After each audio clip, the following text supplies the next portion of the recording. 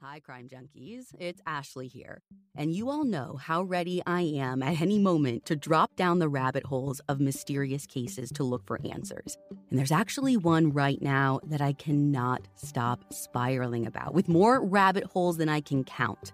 In this season of Counterclock, investigative journalist Delia D'Ambra begins investigating Doug Wag Jr.'s mysterious death after he was found struck on a strip of railroad tracks. But the more Delia has dug into this case, the stranger things have gotten. And you guys, there is truly so much going on. A string of mysterious deaths, a bank robbery gone wrong, conspiracy, corruption, and it may all be connected. You can binge all of Counterclock Season 6 right now in the Crime Junkie Fan Club, or you can listen to new episodes weekly wherever you get your podcasts.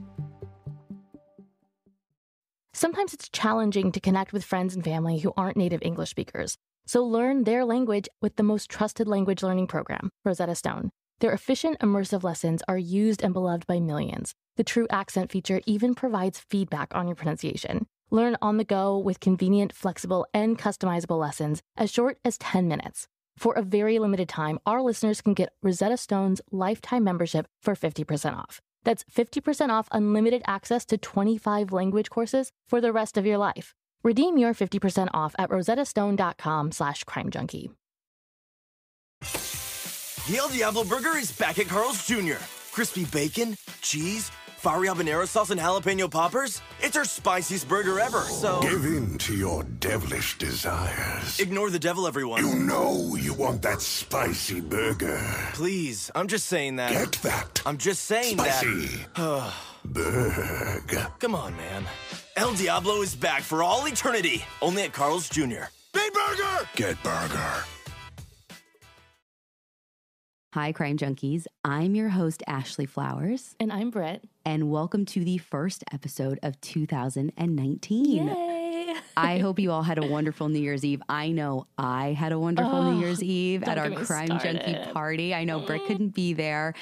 It was insane. We had over 120 crime junkies come out, and it wasn't just crime junkies from Indiana like I expected. We had people fly in from California and Georgia and Vermont. So wild. yeah, there is this time lapsed, like one minute video of the party that everyone needs to go check out on our Instagram at Crime Junkie Podcast. But I truly had the best time ever. It was so amazing meeting these fans, talking, dancing the night away. I want to live in my sequin jumpsuit that I had made. Uh, it was amazing. Yeah, you sent me a picture of yourself getting ready, and I was like, how much fashion tape are you wearing? Yeah, not fashion tape. It was fashion glue. I was glued into that jumpsuit. Oh my gosh, but you looked like a rock star. Um, and speaking of rock star, so even before the party, we're getting ready, New Year's Eve, and Britt, you called me crying. And do you want to like tell people why? Yeah, I was getting ready to go to the wedding that I had on New Year's Eve, and I was just scrolling through Twitter, and I noticed that an amazing writer, who is now my favorite writer, I think, um, wrote a piece for Rolling Stone on the best true crime podcasts of 2018, and we were there. Yeah, her name is Laura Barcella. She is my favorite person in the world right now.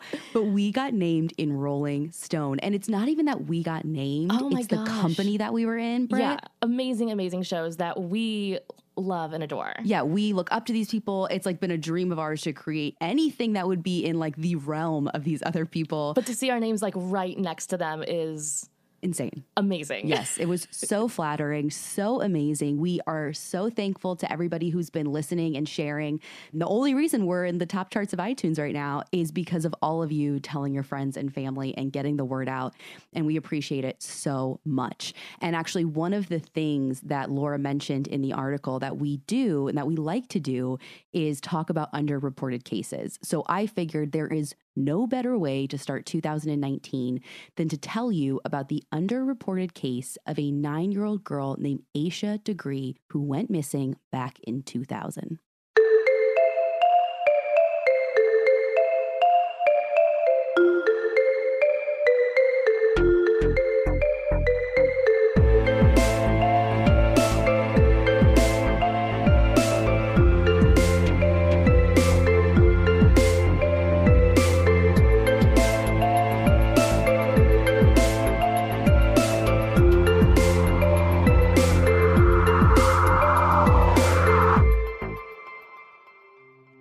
One of the stranger disappearances of a young child I think I've ever read about. And there are a couple of online forums and YouTubers that have talked about this case, but I'm a little surprised it hasn't gotten more attention. So that's what we're aiming for here today. Our story takes place in February of 2000 in a small town called Shelby on the western outskirts of Charlotte, North Carolina. The little girl we're talking about, Asha, is nine years old at the time, and she lives at home with her 10 year old brother, O'Bryant, her mom, Iquilla, and her dad, Harold. Sunday, February 13th, was a fairly unremarkable day for the degrees. That Sunday, they went to church, they ate lunch at their aunt's house, had some candy that they'd gotten for Valentine's Day, which was just around the corner, and they went home with their mom. Their dad didn't go home that day and stay with them because he had to go work at his second job. Iquilla had a normal routine for the kids. She liked to bathe them before bed, but on this day particular, there was a crash near their home that knocked out the power and prevented them from getting their nightly bath. So the kids went to bed at their normal time, around 8:30. Asha in her white nightgown with red trim and her hair in pigtails, knowing that they would have to wake up a little bit early to get that bath that they missed the night before. And I gotta be honest, Britt, the next part is where my research kind of falls off a bit. Things get really fuzzy because I went in circles online trying to figure out exactly what happened in this like short couple of hours. Like I wanted to know the exact movements Right. of everyone in that house, everyone in the family between 8:30 and 2:30 in the morning, and I finally had to give up because my head was just spinning. There's just nothing out there? Uh, there's stuff out there, but my problem is there's a bunch of conflicting stuff out there, and I am having a really hard time tracking down all these conflicting accounts to an actual source. So I don't know where all this is coming from. These news articles from 2000 are really, really hard to find. So let me kind of tell you the couple of things that are said about what happens between 8:30 and 2:30. One account says that around 12:30, Harold returns home from his job, and by this time the power has been turned back on in the home. Now, all of them agree that at some time in the night the power comes back on. That's not really what's in debate. It's really what time does Harold get home and does he stay home? Now, some articles and forums say that he watches TV to kind of unwind before he goes to bed around 2:30. Other places I found say he gets home, then goes back out to buy Valentine's Day candy for the kids, and then gets home later and again goes to bed at 2:30.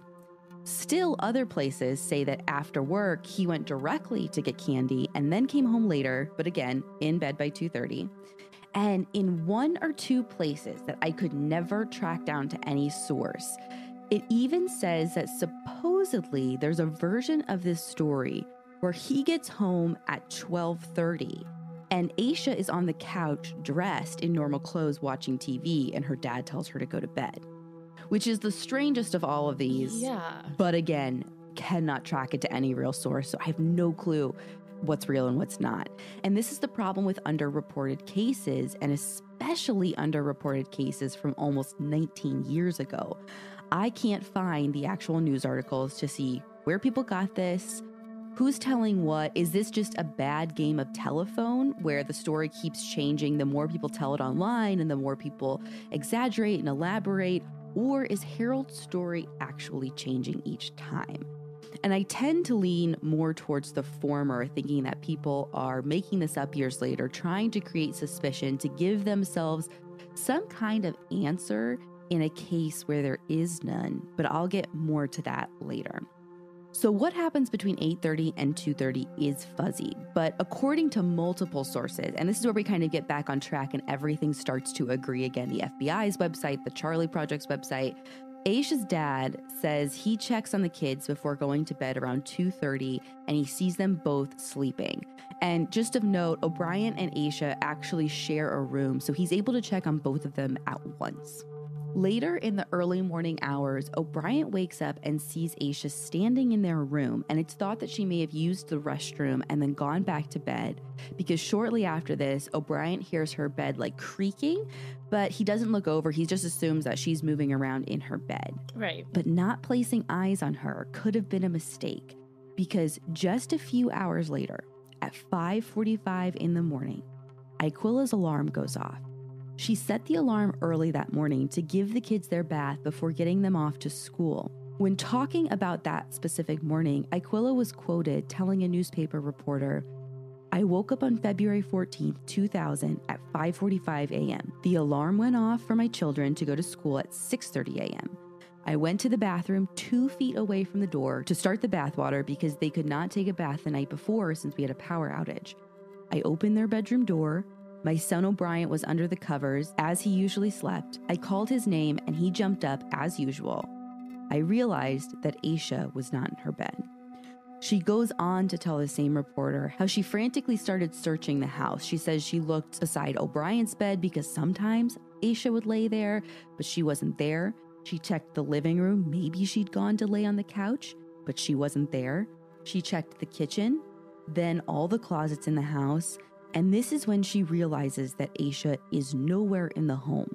So she rushes to her bedroom where she hurriedly dresses while waking up her husband to tell him that Asha is missing. They both check the cars together and they start calling family members that she might be with. Harold's mother, who lived just across the street, Asha's aunt, who they'd all eaten lunch with the day before, all to no avail. Iquilla said after they found out that she wasn't at her grandma's or her aunt's, that, that is when she went into panic mode. She called her own mother hysterical and told her what was happening. And that's when her mother said, hang up the phone and call the police. I found a transcript of the 911 call, which appears to be accurate, but full disclosure again, this did not come from a news article. This came from the deep, dark web of the internet where I spent hours and hours and hours. so I think I'm going to read Harold, who's the one that actually called 911. And Britt, do you want to read the dispatcher? Sure thing. 911. Yes, I'd like to report a child missing. From where? From my house. What's your address? Uh, 3404 Oakcrest Drive. Is this an apartment? Yeah. And which apartment? Uh, apartment 3406. Okay, is she missing from 3404 or 3406? 3404, Amy. There's not an apartment number? It's 34. Uh, no, no. It's not like an A or B. No, uh. And what's your name? Harold Degree. Your phone number, Harold? The next door neighbor said she went down the road and said that she was just a kid on the road. What's the child's name? Asha Degree. What's her full name? Asha Jaquilla Degree. And can you spell that for me, please? A S H A J A Q U A I J L. A what?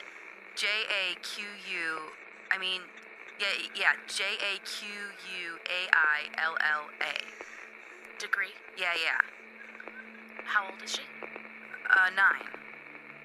White or black? Black. When did you last see her, Harold? Last time I went to bed, she was in bed. We got up this morning, called her to get up to school, and she wasn't there. And her book bag's missing, and her pocketbook. So you don't know if she got dressed or if she still got on her bedclothes or what? We don't know. Was the door open or anything? No, uh, her brother sleeps in there with her, and when he when he was in there, he didn't hear her when she got up. Okay. All right, Harold. I will get an officer to get in touch with you just as soon as possible. If you do happen to locate her, please call us back and let us know, okay? Okay. Thank you. Bye bye. Police were on scene by 6:40 to search the home and the nearby areas.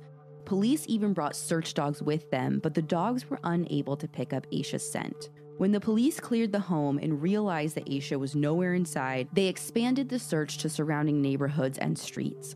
By 7 o'clock, neighbors and friends had awoke and, shocked by the news, offered their services to help search as well. But neighborhood by neighborhood, street by street, they find nothing. Not a single sign of or item belonging to Asha. As this search is going on, police do start processing the degree home like a crime scene, but there doesn't appear to have been a crime committed. No forced entry, no blood, no sign that anyone but the family was inside that home. In fact, not only do they find nothing pointing to an intruder taking Asha, but they find evidence that perhaps Asha left on her own accord.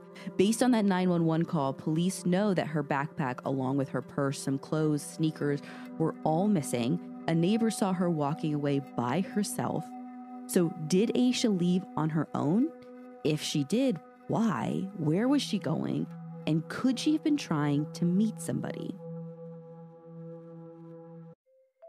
The evidence keeps pouring in. At this point, the facts are undeniable. It's an open and shut case. Monopoly Go is the most fun you can have in a mobile game. Everyone is still talking about Monopoly Go for a good reason.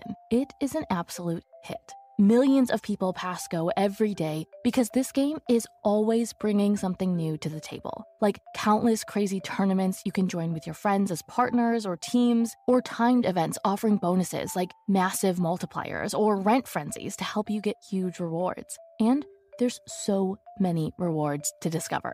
Rare stickers you can trade with friends to complete albums, delightful emojis to taunt people with when you raid their riches, unique playing pieces, and so much more. The verdict is in. With Monopoly Go, there's something new to discover every time you play. So don't miss out. Go download it now free on the App Store and Google Play. This podcast is brought to you by Squarespace. Spring is about fresh starts. That could mean starting a new venture or switching things up on your website. Squarespace is the all in one website platform for entrepreneurs to stand out and succeed online. Use Squarespace to design a website, engage with your audience, and sell anything from products to time all in one place. With the new guided design system, Squarespace Blueprint, you can select from curated layout and styling options to create a personalized website optimized for every device.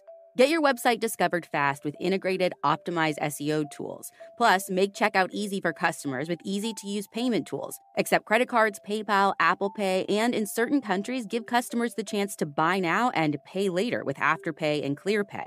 Selling content on your website? Add a paywall to sell memberships or courses or sell downloadable files. Head to squarespace.com for a free trial, and when you're ready to launch, go to squarespace.com slash crimejunkie to save 10% off your first purchase of a website or domain. Once police start to explore the idea that Asha left on her own, they start to think that maybe this was something she had been planning. But Asha's parents say, no way, this was so unlike Asha. You see, she and her brother lived pretty sheltered lives. They didn't have a computer in their home. Outside of school, church, and basketball, they didn't do a whole lot of socializing. And beyond this, Asha's parents say that she was deathly afraid of dark. She was deathly afraid of storms and of dogs. So she would not have left the home in the middle of the night, in the dark, while, by the way, it was storming. Also, they said that Asha was shy and timid. She was not the kind to run away. And it's really pretty rare that you hear of kids who live in pretty stable homes running away at such a young age. Yeah, she's nine. She's just a little kid. I feel like I've read somewhere that runaway age kind of starts at 12, and nine is much younger than that. Yeah, that actually was something that I came across in this specific case that someone from the FBI was, uh, I believe, like said this that it was at, at, age 12 that they start really classifying kids as runaways. And usually, if they're younger than 12, they almost always assume something happened to them, like some kind of foul play, unless there's like a specific reason, like something crazy was going on in the home. But that doesn't seem like it's the case here. Right. Everything here is pointing to the fact that she left willingly. Also, I should mention that all of the doors were locked in the home when Asha's parents woke up. Now, she had a key that she kept in her book bag. So she seems to have left on her own, locking the doors behind her. And what the police and the FBI later say is that it appears that her bag had been packed well in advance. And it seems as if she had prepared to make this trip, and she got everything ready so that she wouldn't risk waking up her brother that night.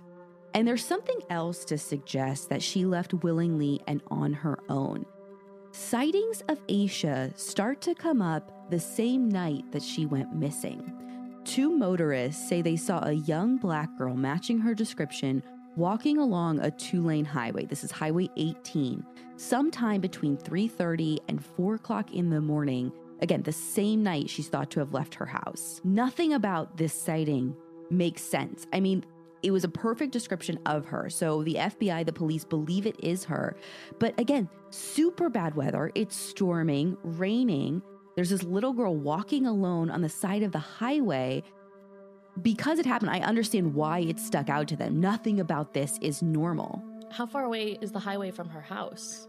Well, at the time they spotted her, she was just about a mile away from her home and she was walking along the road in the direction toward town. And this is actually a road she would have been somewhat familiar with and a direction she would have gone before because this is actually the direction her school bus used to go. The motorist who saw her, did they mention what she was wearing? Was she still in her nightgown? No, she was now in a long sleeve white shirt and pants. And based on the items missing from her house, police and family were confident that this was her. From what I read, and again, these aren't 100% confirmed accounts, but it seems that there were like two full outfits that were missing. And one of them was like jeans with a white long sleeve shirt. Did either the motorist call 911 about the sighting? So, no. And obviously, this is one of the biggest mistakes in the case, if not the biggest. I mean, we probably wouldn't be here 19 years later if someone would have seen a nine year old girl on the side of the highway during a storm and just called the police. Right, like a normal person. Like a normal person. Multiple people see a little girl walking along the highway, but no one reports it.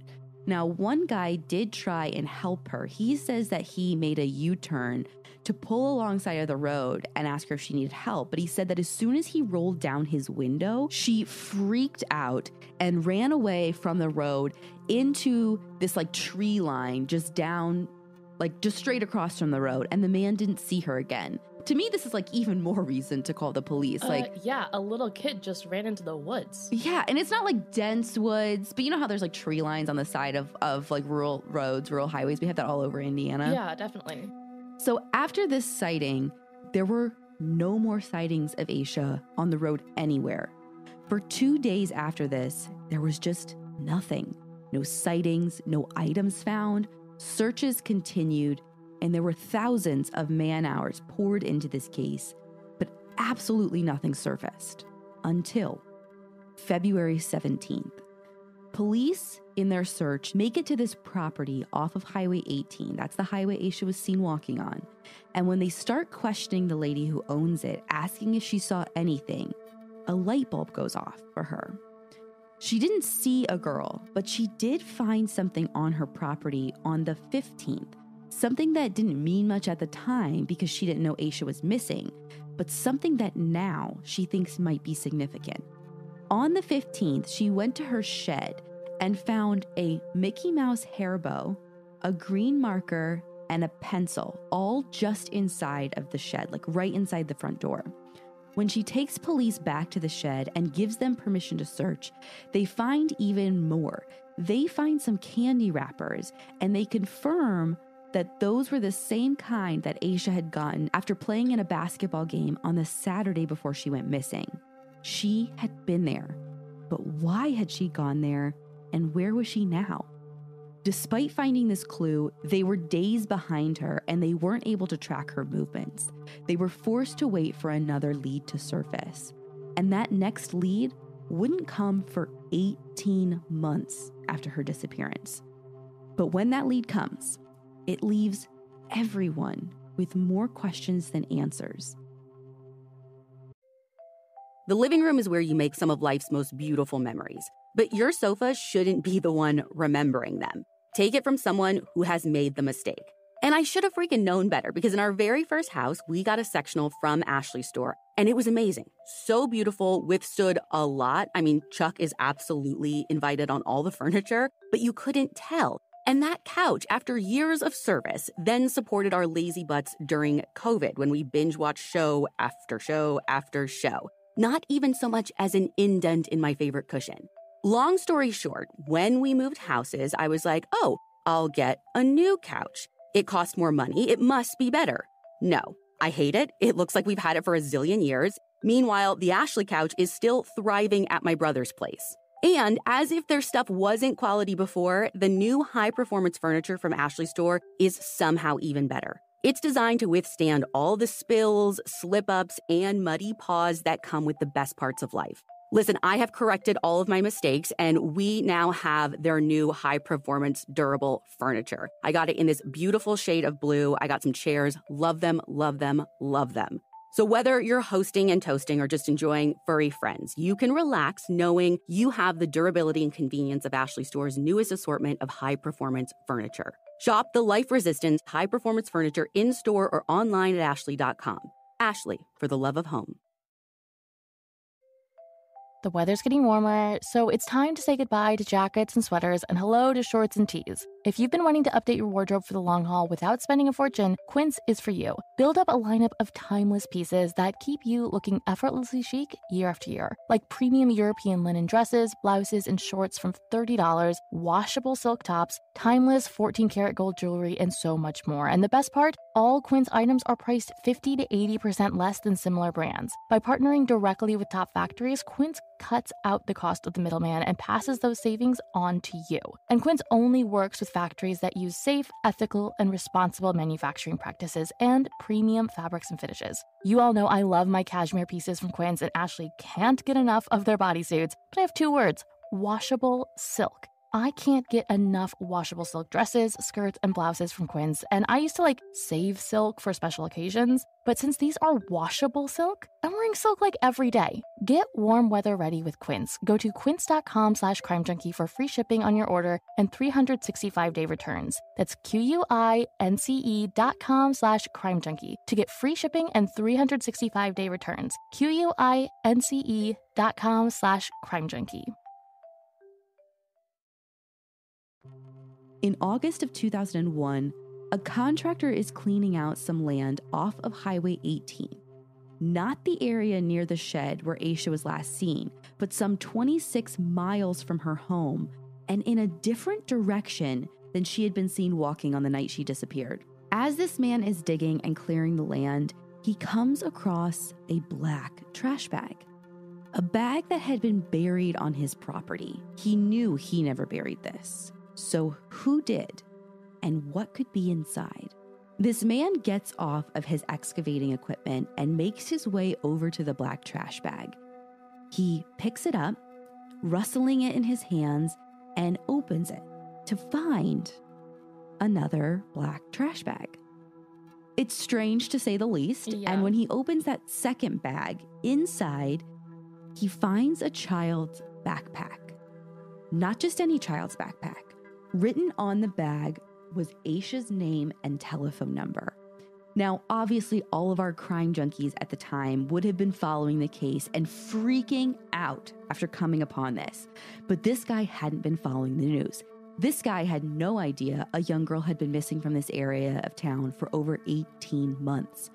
But it was still weird enough and stuck with him enough to mention it to his wife the next morning at breakfast. And luckily, his wife had been paying attention. And thank God, because it makes me sick to my stomach to think that he could have just thrown it away or like never knew what he was holding on to and how important of a piece of evidence he had in his hand. Yeah, that's insane. Once they realize what they actually have, they contact police who descend on this guy's property to do a thorough search of the land, having no idea if they're going to find more evidence or maybe Asha herself. After an extensive search, all they come up with are some animal bones and a pair of men's khaki pants.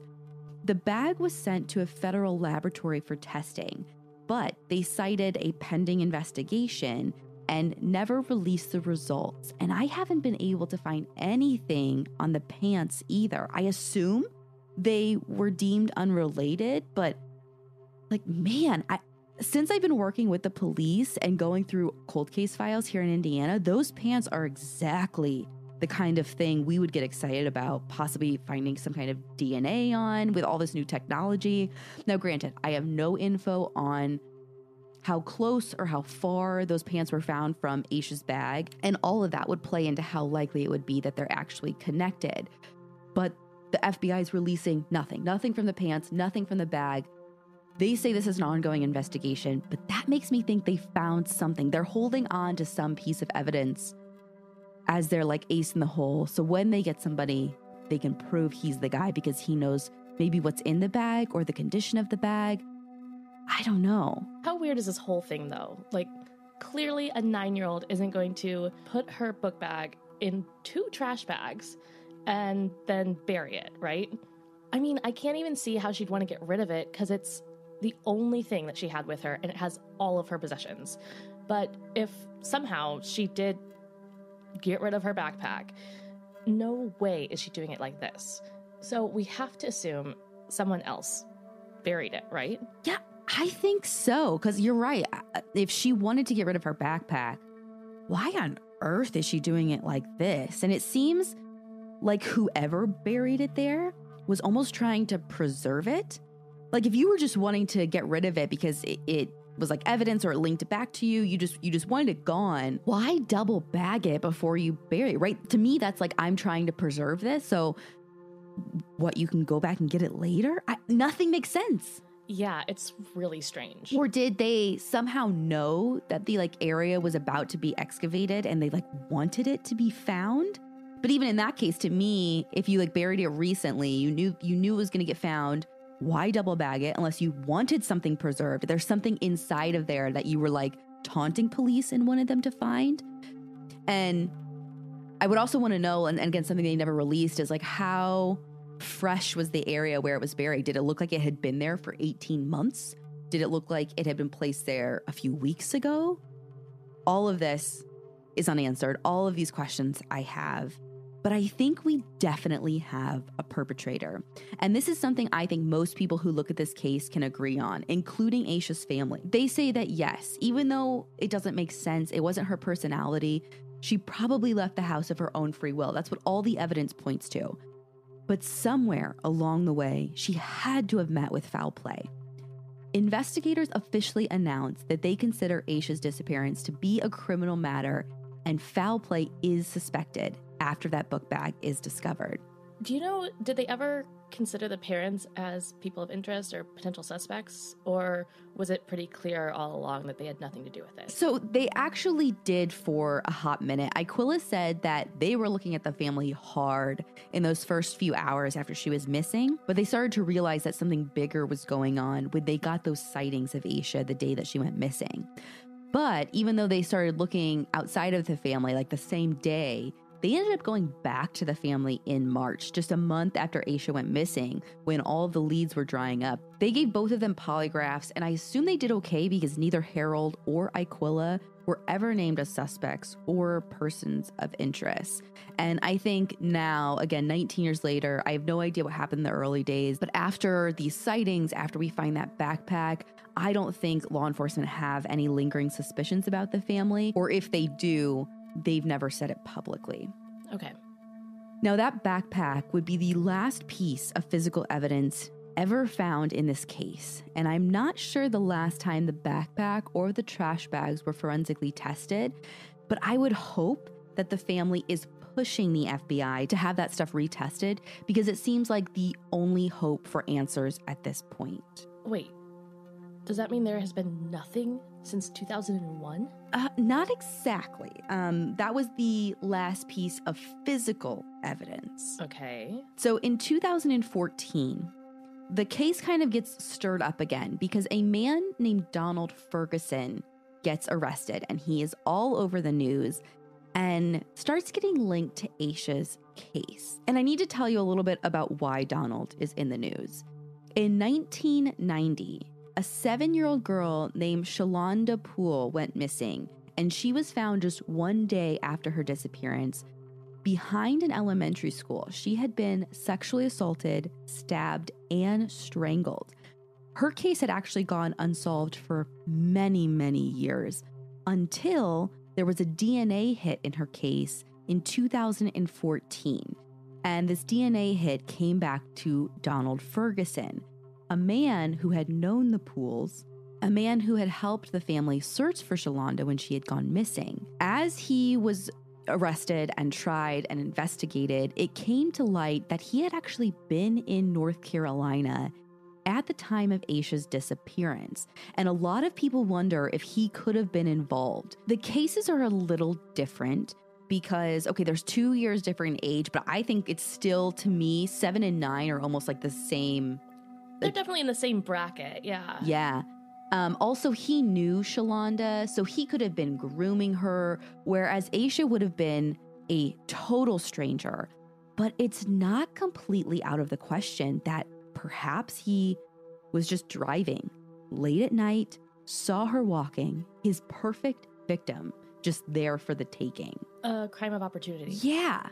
But again, why was she out there in the first place? It's absolutely killing me. And I've thought about it every which way, and nothing makes sense to me. Again, the investigators said whatever they found made them think that she'd planned this trip for days before she had left. But they couldn't find any reason no abuse in the home, no real reason whatsoever. Some people say that she was sad about her team losing a basketball game the Saturday before she disappeared. Like she was apparently the star of the team, and that game she had to sit out, and so she felt really bad. But I don't know that you pack your bag and plan to leave home because your team lost their first game. Some people say she was inspired by this book she was reading about a runaway who had all these adventures. But again, none of this really plays into what we know about her and her personality. Yeah, I was going to say, Ash, you and I have very different personalities. And even as a kid, you were totally the type to get mad and run away, right? Well, so here's the thing. I think I was the type to like get mad and threaten to run away, but I would ever I've I never actually went through with it. I never packed a bag. But like, I'm also a, you a had realist. that in you to like threaten it. At Oh, least, here's the thing, yeah. I would, or I would have never threatened to do that. So, yeah, like- and I think the difference is I, I if I ever felt like I had to, and I think that's the real thing, is like at the end of the day, I was mad at my parents, but like nothing ever made me really want to go. But I had full confidence in myself that if I had to leave, like I would survive on the land by myself just fine. Whereas I would be like, I'm gonna die, so I'm just gonna stay here, I guess. So that's fine. Yeah. And I feel like she's maybe a little bit more of my personality than yours. Well, and that's what they kept saying. Sounds like she never even threatened to run away. Yeah, that's what they kept saying over and over. Like, like she she wasn't dramatic. She never once talked about running away. So it's crazy that this like one basketball game or she reads this one book and then she's like, yeah, I'm gonna leave at three o'clock in the morning when it's storming and walk across the highway to go where? Like, none of this makes sense. Is there any possibility that someone maybe could have lured her out or she was going to meet someone somewhere?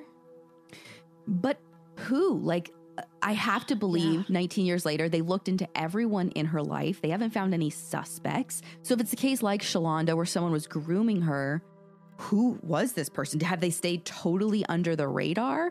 Like, you know, in 2019, I'd love to be like, oh, she probably met this person But online. they didn't even have a computer.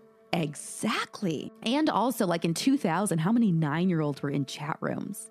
Like the 2000s internet is not the 2019 internet. You know what I mean? No, totally. There's, well, I was going to say, when you were talking about the news articles, news agencies, local news agencies, weren't even putting articles online into the, in like 2000, 2001. Very, Yeah. very rarely did they even have websites. I mean, this is the baby internet. Yeah, so she would have had to have like met like met somebody online at a computer that was maybe at her school, which what they probably had wasn't even the internet. They probably just had like computer games. I mean, I, I would just find it really, really, really hard to believe that she was being groomed by some stranger. So the most likely, if she was going to meet somebody, it's somebody in that she knew in her daily life In their circle, yeah. who's just like gone totally under the radar. But we don't know. So in 2015, the FBI announced that they are reinvestigating the case. And they, along with the community, come up with $45,000 as a reward for anyone with information leading to the arrest and conviction of the person involved. It takes a year and it's still super unclear exactly what the tip was that came in. But in May 2016, a new tip does come in. And from this, I mean, somehow they, they decide that this lead is super credible. And they make an announcement to the public that the night Asha went missing, she was seen getting into a dark green either early 70s Lincoln Continental Mark IV or possibly a dark green early 70s Ford Thunderbird. And she was seen getting into this car along Route 18 or Highway 18 near where she was last seen by those two motorists. Now, the car was described as having rust around the wheels, but they're both pretty distinctive cars. So, Brit, you have pictures of these cars. So, the first one is the Lincoln, second one is the Ford Thunderbird. And remember, this isn't like a case that happened in the 70s or 80s. This is like 2000. These are very distinctive cars in 2000 because they're classics. Yeah, they are absolute boats. I used to drive a Lincoln and I kind of miss it. They're they're actually really both cool cars. They're really cool. Yeah, again, they're classic cars. So I understand why this would have stuck out.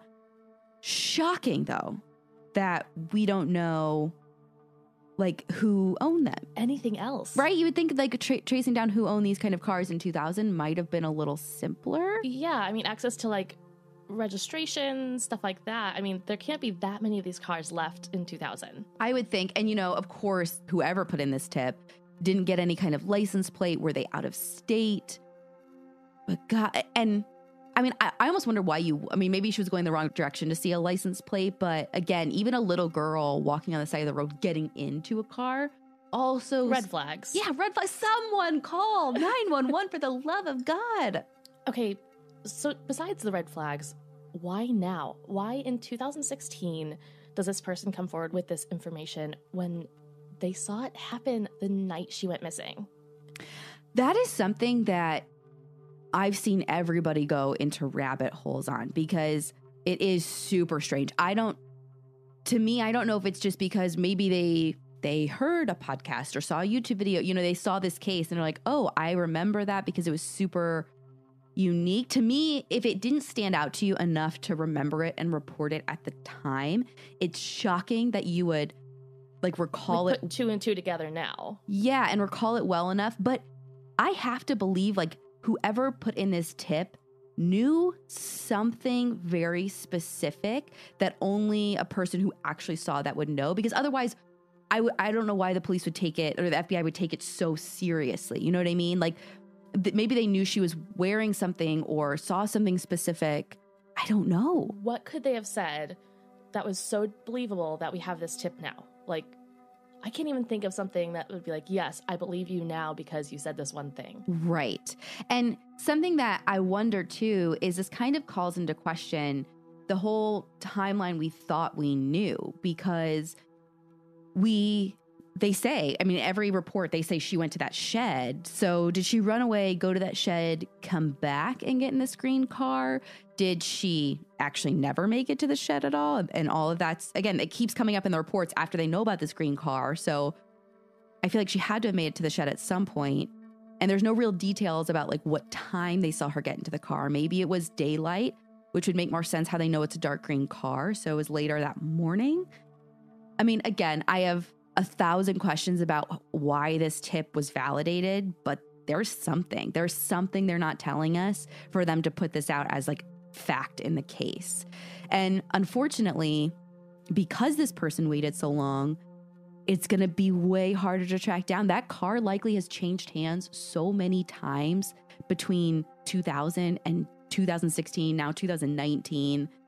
Like, who knows who owned it? This is a shot in the dark, but any chance Donald Ferguson ever owned a green car like this? Girl, I was searching, but I wasn't able to find out anything. I am still dying to know. I'm dying to know about anyone in North Carolina or the surrounding states who owned either of those in 2000. I feel like they're pretty distinctive cars. And you know, one thing that sticks out to me too, if she got in, why? I almost think she, this goes back to maybe her being lured out there. I almost feel like she would have to know the person because if you remember that other motorist who's tried to stop to help her, She ran away from. yeah, she freaked out and ran away from him. And again, I, I, I what about this person who rolled up? Did they just look familiar? I again, I don't know. I could theorize for days. But the truth is, we have no answers. In 2017, the FBI assembled their CARD team. And I don't know if you remember that from our Monster in Fort Wayne episode on April Tinsley. Yeah, they're like the specialized team that go out on like abductions and really likely to be solved cases, right? for specifically for children. And by the way, total side note, but I have gotten all of your messages, listeners. We are working on a follow up episode about April Tinsley and her killer being arrested and sentenced. Please be patient. It's taking some time. We thought there would be a trial that we were going to cover. Uh, he pled guilty. We're working on it. We we hear you. It's going to happen. but anyways, so they assemble this CARD team in Asha's case, and according to Wikipedia, so take this as what you will, they've done over 300 interviews since they started in late 2017. But the interviews and reinvestigations haven't led to any new developments in the case, and law enforcement and the family are waiting for that one person with the right piece of information, that person who knows somebody in 2000 who was driving that kind of green car, that person who maybe heard a story from a friend about picking up a young girl on the road that night, that person with the one piece of information that could break this case wide open.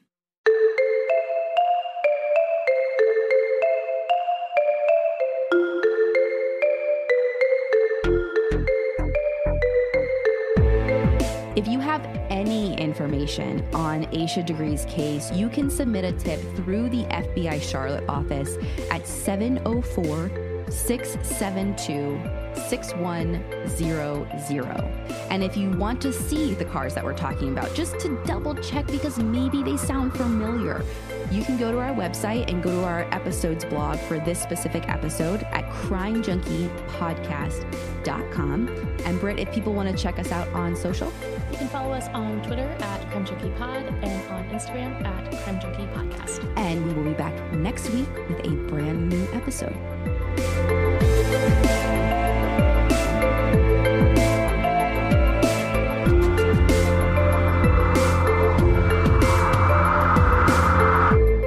This episode of Crime Junkie was researched, written, and hosted by me, with co hosting by Brit Prawat.